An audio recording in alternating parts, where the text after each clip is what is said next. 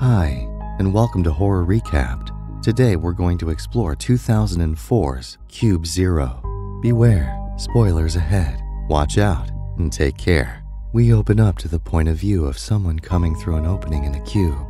After they climb down to the floor, we see that they only have one boot left, and he seems to be having trouble breathing. As he looks around the cube, he picks the hatch that is in the floor as the one he's going to try next. It leads to another cube, and the door closes as he checks some of the other options. Eventually, he chooses one of the hatches in the wall and he climbs yet into another cube. Only, this one has a trap inside that sprays him with some sort of liquid that causes him to scratch his skin away. As the skin wipes from his body, he eventually melts away before his skeleton falls to the ground in a pile of bodily fluids. And we see that someone is watching this happen on a computer screen. The monitor shows that the subject has been terminated, and two men watch on as the recording plays. Here, we meet Eric, who saves the footage on a DVD and labels it with the victim's name. On the other side of the desk, Dodd plays chess with Eric. Dodd sees that Eric is looking through the subject's file. Eric reluctantly puts the file down and goes back to his sketch of the man whom just passed away.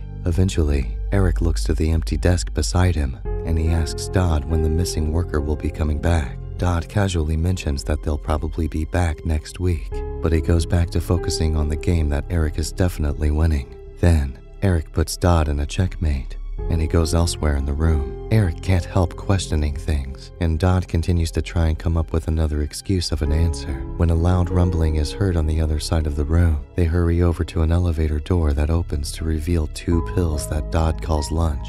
After saying grace, they swallow the pills, and Dodd notices a note on the tray that gives them a job to do. They quickly go back to their equipment to record a specific victim that is trapped in the cube.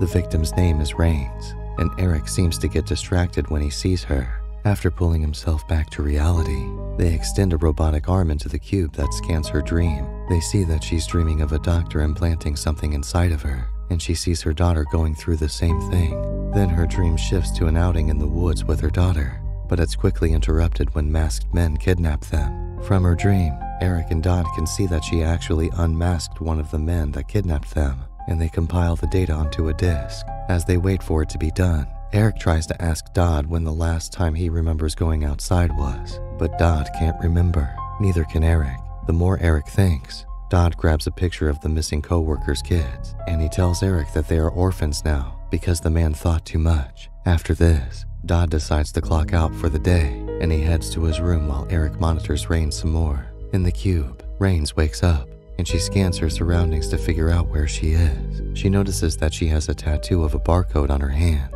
and she calls out to her captors. She tries to ask what they did to her daughter, but then she realizes that she can't even remember her daughter's name. After she doesn't get an answer, she checks one of the hatches in the wall and she sees that it leads to another cube. Once she gets in the other cube, she finds a man sleeping on the floor. As she climbs in, she gets grabbed by Haskell, who is waiting for her to come in. Suddenly, she meets the other people that are in the room with them, and she realizes that they are all in the same boat. She asks about her daughter, but no one has seen her. Haskell tries to warn her about moving around the cubes with caution, and we see that Meyerhold has already lost some fingers to a trap. We also meet Bartok and Jellicoe, but no one seems to remember anything about themselves other than Rains. They agree to continue looking for a way out, and they explain that they use the boot throwing technique to determine if the cubes are safe. As they push forward, Bartok finds himself in a cube where the trap activates after he wanders in. He soon finds himself severed into pieces by a rope and Rains catches sight of him as it happens. Back in Eric's office, he sketches Rains on his pad, and he asks Dodd if he recognizes her because he faintly remembers her. Dodd warns him one last time to stop digging into things, and Eric decides that he'll only ask one more question.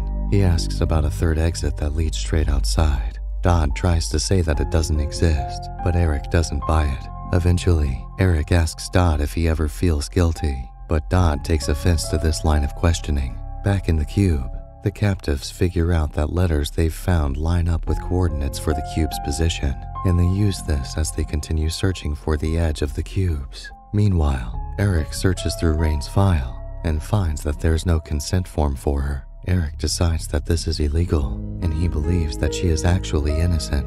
As he goes to call the higher ups, the phone rings, When he answers, it turns out to be for Dodd. It turns out that someone is at their exit, and Dodd has Eric help with the procedure to handle it. It turns out that it's Owen. After they go over a series of questions over the intercom, his answers result in them incinerating him. After seeing what happens when someone reaches the exit, Eric isn't too sure he wants Rains to make it anymore. Dodd gives Eric a note to send up the elevator, but after thinking about what just happened, Eric decides to ride the elevator down. Once the elevator comes to a stop, the door opens to reveal a cube hatch, and Eric makes his way into the cube. Before the hatch closes behind him, he sees that the elevator goes back up. He's trapped inside now. Soon, some men show up to help Dodd. He meets Jax, and they get to work immediately.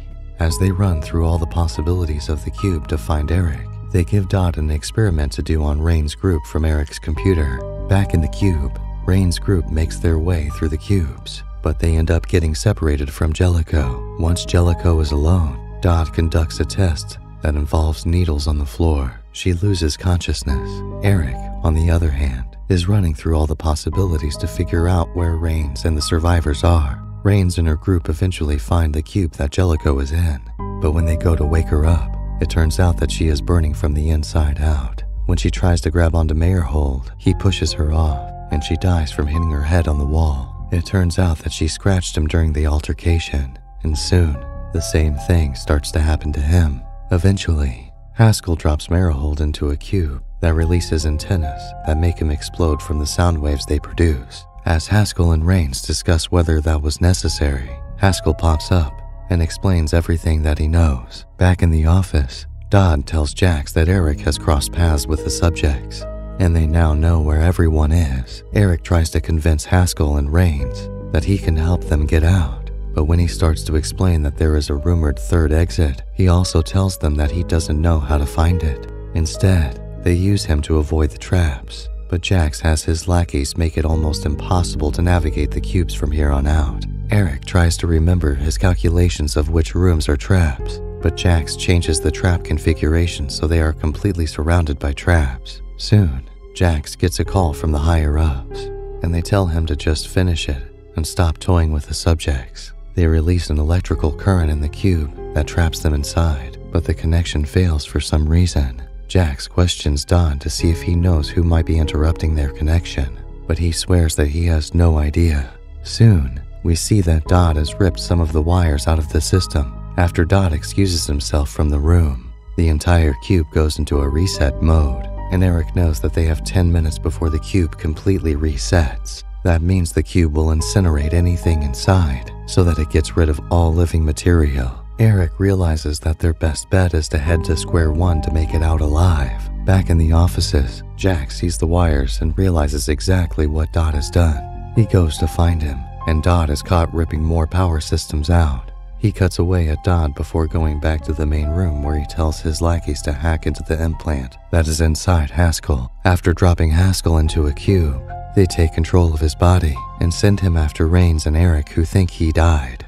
With his new and improved abilities that come from the chip, Haskell leaps into the cube that the others are in and starts to strangle Rains. Eric fights back, but he's no match for him. Finally, Rains hits him where it hurts, and they take him down. They continue through the cubes until they get to a cube that will take them to the perimeter. Once it is time for the reset, they find themselves over water, and Eric assumes that this is the third exit that he has heard about. Suddenly, Haskell drops down on them. Ultimately, they end him and jump into the water just as the cubes eliminate all living material. Back in the office, Jack's lackeys think they've succeeded, but that isn't so sure. He has them send a squad to the exit point. As Eric and Rains emerge and run through the woods, men try to shoot them with rifles. Eventually, Eric is shot, but Rains continues through the woods. Later, Eric wakes up to see Jax read a note that says he has been sentenced to two lifetimes in his current position